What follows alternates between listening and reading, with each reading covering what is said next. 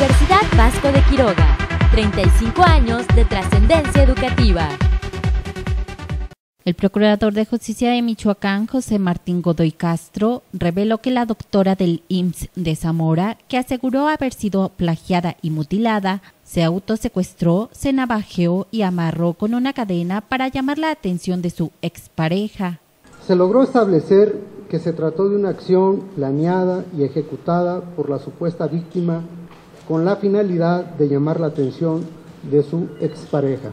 En conferencia de prensa, Godoy Castro mencionó que en base a los peritajes realizados por la dependencia, se determinó que la profesionista del Instituto Mexicano del Seguro Social padece trastornos psicológicos.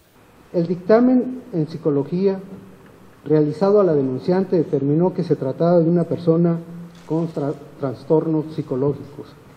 Terminó por confesar que el supuesto secuestro fue planeado por ella misma. La denunciante manifestó que efectivamente había tratado de un montaje para llamar la atención de su pareja, objetivo que no cumplió.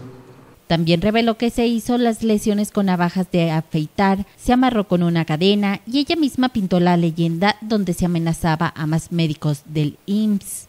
Que salió a comprar un tubo de metal y unas navajas de afeitar con las que se hizo algunas cortadas en las, en las mamas y se produjo una incisión en el pubis que ella misma suturó. Tras las investigaciones que determinaron su responsabilidad en este autosecuestro, la Procuraduría de Justicia del Estado dará en breve instrucciones para detener a esta médica que actualmente se encuentra hospitalizada. Con información de Andrea Fernández, informa Cuasar.